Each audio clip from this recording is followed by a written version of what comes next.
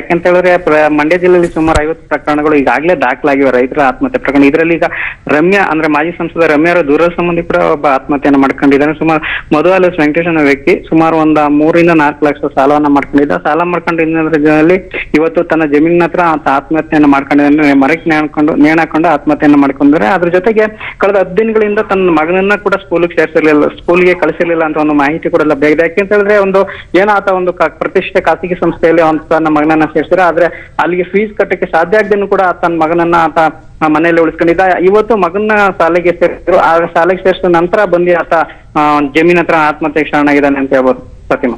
Thank you Yathish, ತಮ್ಮೆಲ್ಲ ಮಾಹಿತಿಗೆ.